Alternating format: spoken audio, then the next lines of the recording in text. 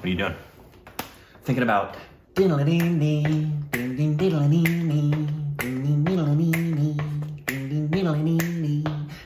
Hello, hello, I don't know why. Hello, hello, and then da da da da da.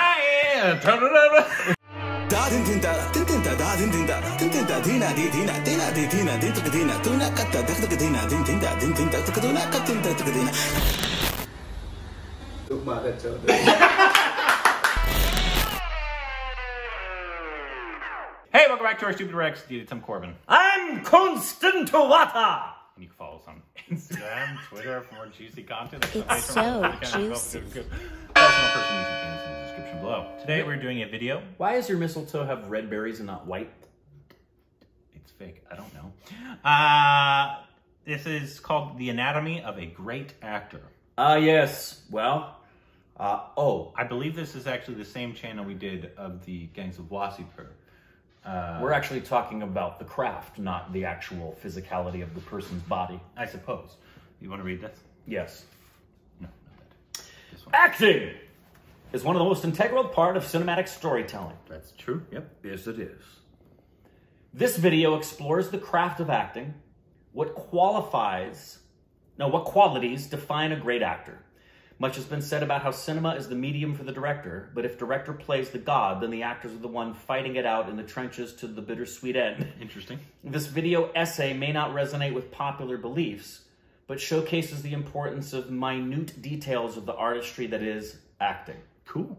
Okay. Uh, we're always about, um, you know, talking about acting and, and stuff like that. Nothing tickles my fancy more Don't talk about your fancy here, please. to talk about. I there's truly nothing I can. I mean, there are a few things that are like com- com- comparable, but nothing more Cinema that I like talking about and studying and acting.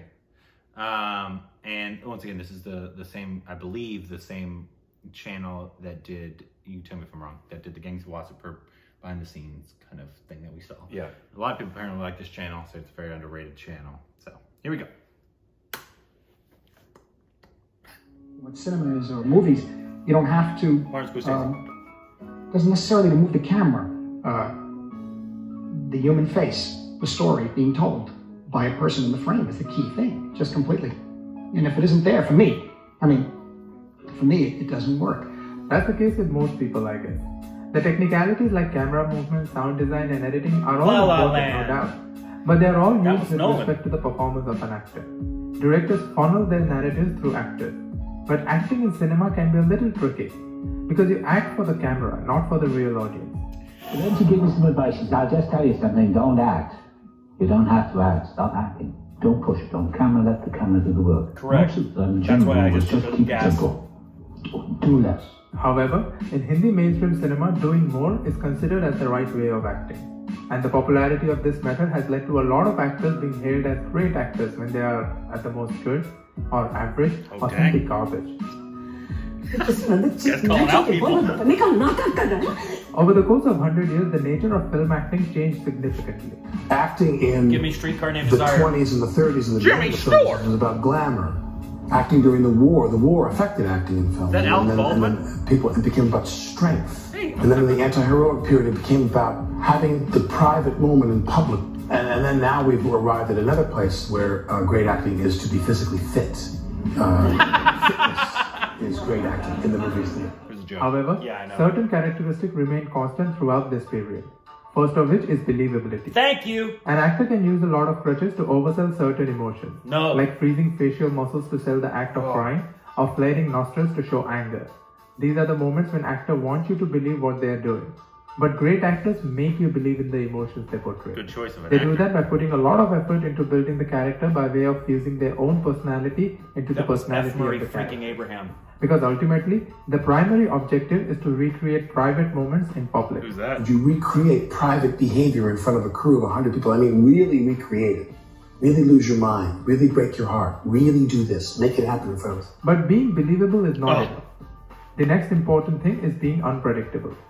Audiences are smart when it comes to predicting characters' Not action. Even if an actor builds the character, the chances of her becoming predictable are quite high. These are the moments when audience say that the acting was flat. What they really mean is that the actor failed to surprise them. Great actors build a great sense of mystery around them. So even when you know and understand the character, you never get an idea how they are going to react to certain situations. You talking to me? Throughout The Godfather Part 1 and 2, Michael never acts out any violence himself. Therefore, this moment comes across as a great surprise. Improv. Similar moment is when an introverted and seemingly innocent Hanna Oh, emphatically reader. justifies her action of letting people die. We couldn't just let them escape. We couldn't. We were responsible for them. Of course, this all stems from great writing. Thank you. But it is up to an actor to elevate written words into something that is quite palpable. Here's an excerpt from There Will Be Blood Who's for that? comparison. I was lost, but now I'm found. I have abandoned my child. Yeah, this is so good. Abandon my child. Say it louder. Say it louder. I've abandoned my child. I've abandoned my child. I've abandoned my boy. Performances of this caliber can happen wonderful. only when an actor allows herself to be affected by the material from inside out. When she allows herself to be vulnerable in front of the Kick him camera. In. Bad actors guard themselves with an aura of invincibility. I love the They actors either he hide pulls behind off the at these or the times. baggage of their previous success or sell their eccentricities in the name of acting. It always keeps them as a distant performer. Calm Whereas down there, great actors will always share parts of themselves they keep hidden from the world. True. With each new character, they put a different version of themselves in that character. Yes. It can be ugly, it can be mean, lonely, scared, sorrowful, or devastating. None of the great moments occur on their own. Great acting is a teamwork. And for the teamwork to produce great results, an actor needs to be ridiculously good at listening. How important is listening? That is the most important thing of all. That's everything. It's essential, you know. I would put that very high on the list of things. It's certainly the most important thing is, is in acting. I uh, think the listening is the first thing you come with. If you can't listen, ah. then you can't you, you can't do it. An actor who knows how to listen is an actor that as a director you can cut to any time. How do you do it? And she said, Well, I just listen.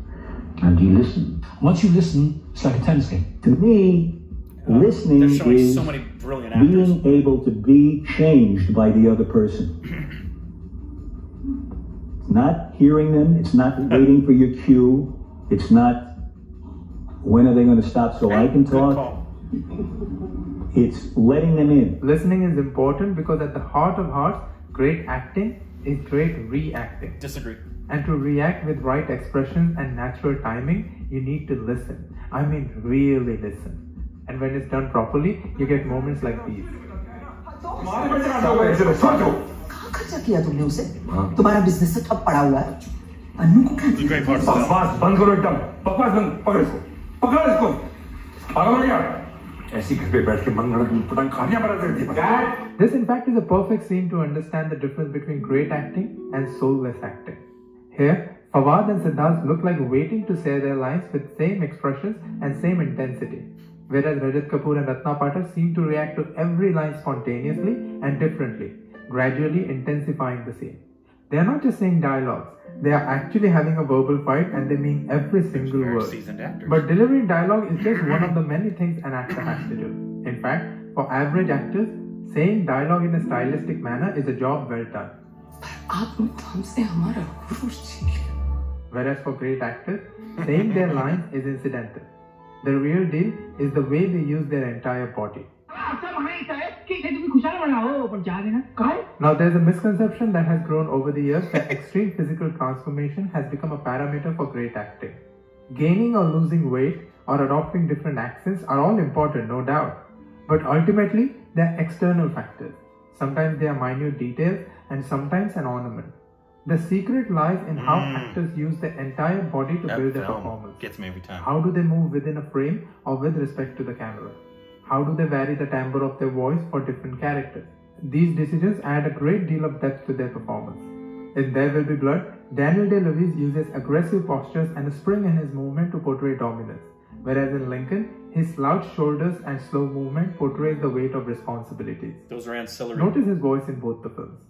One night I'm going to come to you inside of your house, wherever you're sleeping, and I'm going to cut your throat. We're stepped out upon the world stage now. Now! With the fate of human dignity in our hands. If you're going to work in the creative field of any kind, you give yourself over to that. In The Aviator, Cate Blanchett uses a high-pitched voice to match Hepburn's timbre. He's a urologist, but it's all tied up inside the body, don't you find? Whereas in Carol, her graceful voice expresses Show her as. Bob Dylan. Right? You have no idea how pleased I am for you. And this is just a ridiculous level of brilliance you. Uh, you oh, already know one of the, the greatest shapeshifters. Uh, I understand it in the final scene when the bellhop told me I had a phone call. I miss him so Now consider all these parameters. Believability, unpredictability, vulnerability, ability to listen and react, so and the use of body. So versatile. Now can you apply all of them in the same scene? Sir, of course you can. In this scene, Sheikh wants to invite Fernandes to his wedding as his guardian. But he hesitates as their relationship hasn't even reached the level of friendship. So he sets up entire context before reaching the point. It is believable because that's the way people approach conversation with power hierarchy. In addition, Sheikh's serious approach to the conversation contrasts his over-enthusiastic personality portrayed in the film till this point, which is quite surprising. His vulnerability is also at display as he indirectly talks about his loneliness, which is accentuated by the way he continuously looks down in his plate. But if you're thinking about looking down at the And all plate, this while, Fernandes listens to him carefully, gets affected by his words, and accepts the invitation. Now that is great acting. Another important criterion to define a great actor was Pretty sure noted by Stella doesn't Adler. To paraphrase her, the greatest talent of an actor lies in her choices.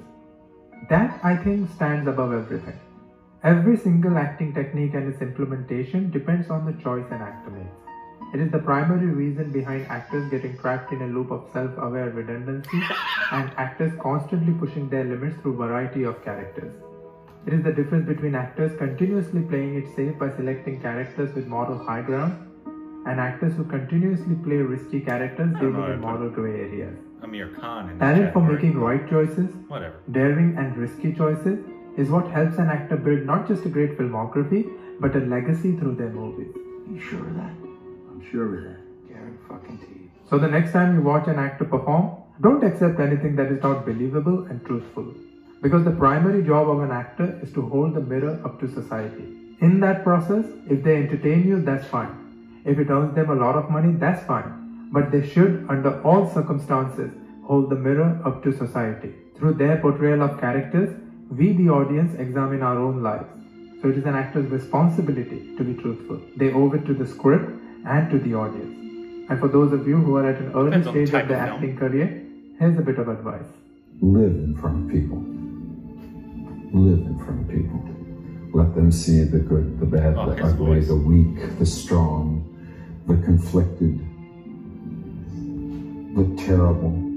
One of the things about acting that I that gives me the greatest satisfaction is the opportunity for that emotional exercise. So much and his voice. Uh, before we get into the video, I'm going to say uh, a little tweet I saw the other day about Harrison Ford. Somebody asked him, he said, Do you believe your character in whatever the most current one uh, Star Wars was? Uh, do you believe he was a Force ghost? And he said, I don't know what the fuck a Force ghost is, and I don't give a shit. I love that he's just become Yeah. a grumpy old man. Anyways, great. I overall I think it was a very good video uh, in terms of what it was saying. Obviously, there's a lot of debate between certain points he was making. Overall, I think he was making the correct points, but there's obvious acting is a very broad subject in terms of so like when he brought up Ranveer in terms of using extrins. Ex, ex, ex- what is, what is the word extravagancies or whatever uh, and, and i Yeah. think he was in ram Leela. That's what that film called for so sometimes obviously being a Nawazuddin level believable like in your face is not always required No, Is the it- script doesn't call for it. is it always appreciated? Yes. And is that obviously as an actor what you should be to do is try to be um, believable in the moment? Yes. But I think it depends. uh, I don't give a crap if everyone's believable in Spaceballs. Yeah, and I like you can't tell me Jim Carrey is not a great actor in in, in Great example. And uh, I don't need every him, film. I don't need him to be believable in. I just need him to be liar funny. liar. Yeah. I need him to be Jim Carrey. Yeah, I Right. mean, be funny. Uh, same with uh, Will Ferrell. So obviously, that's not what this. This was more focusing on the very dramatic Daniel Day Lewis style of acting, which I think for the most part, yes, I, I, I agree with most of it. There's obviously some debate with certain things he said, but I think it was overall a good video. I think it was overall a good video. It Yeah. does. It had a mix of some things that are spot on and some other things that are dangerously off. Yeah. In terms of if you're an actor and you're applying some of those things, it, I I I made the mistake early on in working out out outward in instead of inward out as an actor. Yeah. So, for example, I remember watching myself in there was this old show called the uh, the uh, the Judge, Mhm. where they take legal cases that they reenact. Yeah. And I played this guy who's on trial, a young guy being accused of having murdered his family, and you're not supposed to know that he did it until the very, very end. And I remember one of the things I wanted to do was take on an affectation that Jack Nicholson had in One Flew Over the Cuckoo's Nest. Gotcha. Did you hear what I said by take on? Yeah, yeah, yeah. And I remember watching myself at one moment, and there's a moment where they're in the script, they're talking, and I'm listening to the defense, and I knew the camera was on me, and I I did this as I was as the scene was happening. I'm listening, and I went, you know why I did that? Mm. Why I opened my mouth? Because Jack did that in a scene, One Flew Over the Cuckoo's Nest. Absolutely 100% wrong rationale behind why you should do something. Yeah. Because that wasn't believable. That was me putting on an affectation in order to try to exude something from another actor versus being that guy on trial, listening, and everything that I did came from that moment. I think that's what the fully video is full absorption. trying to say, though, is that because that's why he brought up Irfan, Nawazin, and Pankaj Tripathi, and obviously all the other great American and British actors. Yeah, but like even up as well. even when you point out like when you point out the brilliance of what Daniel Day Lewis can do with the transformations in his voice, uh, I promise you, his goal wasn't to think I'm going to make a, a character with a great voice. He wasn't thinking that one bit. I promise you, he was thinking, who is this person? How do I find myself in them? What do they sound like? And everything about it. Because I know the first thing he worked on with Lincoln was the voice, and he sent a, a piece of it. He, he read, he spent a year in prep just reading. And he sent the voice template to Steven Spielberg on a cassette that said for your ears only. And he said, This is where I think um, his, and it was all built on what he heard people wrote about Lincoln's voice. It was never once, how can I make an affectation on this character? It was, how can I become this character and do justice? So that's where all that stuff about being believable, being truthful. One thing he, he didn't talk about, which Irfan is the, the quintessential master at, is the two uh, alongside believability is effortless and ease. Yeah. And you can't fake that. No. You either are going to be at ease and effortless or you're not. Mm-hmm. And it's it's freaking crazy difficult. No one does it better than Irfan. No one does it better than Irfan. Pankaj is pretty close. He's he's a pretty effortless actor himself. Very effortless actor. Uh, but yeah, no one I've ever seen is just as like they don't even look like they're trying. Yeah, because they're not. Yeah, Yeah. because they're just that. Like they are. Yeah, Meryl's character. there, Al Pacino's there. Uh, uh, there's a lot of work I've seen a lot of people do that have that level of effortless and and ease. Dustin Hoffman, um, and finding yourself in the role. There's so many actors get caught up in what a trainer of mine used to call just the tools, and she was my she was probably the best acting trainer that I had had at the time. Her name was Christy Martin because I would do something that students and other people would be like, "Wow," and she'd say, "Do it again." And this time, don't use your tools. I don't want to see you use your tools because you know it's going to work and you can pull the wool over their eyes. You're not going to fool me, Rick. Do it again. Mhm. And then the whole class would have been like, wow, that was brilliant. And she was like, bullshit, do it again. That's the kind of acting coach you need. Absolutely. So yeah, overall, very good video. Um, it brought up. It's actually quite funny the way they edited it. obviously, they, and every, every time I talked about like a bad, Bad actor, acting. it was like Salman Salman Khan. so clearly, this guy has opinions. Strong opinions. Uh, I don't know that I fully agree with Aamir uh, Uh. with what he was. He brought up Aamir at a certain time where he was almost talking like a, a down a little bit. Right, as if all the only choices he ever makes are for the moral high ground. Yeah, I don't. Yeah, I don't. uh, that's not the vibe I've gotten. No, because from the same Aamir. thing could, could be you could be accused for the same thing. that Tom Hanks always chooses characters that take the moral high ground. Um, Yeah, and there's And because there are roles that are attractive to some actors more than others. And they don't do it because it's what they're expected of. It's because that's the kind of role that they're attracted to. And you see a particular niche for them. It's like you tend to be attracted, like Anurag tends to be attracted to doing dark film. And he has said, um, uh, just that's what I do. Yeah. That's what I like doing. Yeah. Yeah. Same. Um, so uh, let us know uh, any other videos like this that we should react to. Um, so, uh, I do love that More of 'em. We've um, interviewed a bunch of the actors they said were the great actors of India. Sadly, we wouldn't Yeah. be able to get, interview Irfan. And I, I know, Which is and I'm getting uh, for Christmas, but it's taking a while to get to me. Is that book on uh, the Indian method acting book? Oh, cool, cool, Yeah, cool. it's on the way. I can't wait to read that. That'll be great. Let us Yep. know more videos we've reacted down below. Da din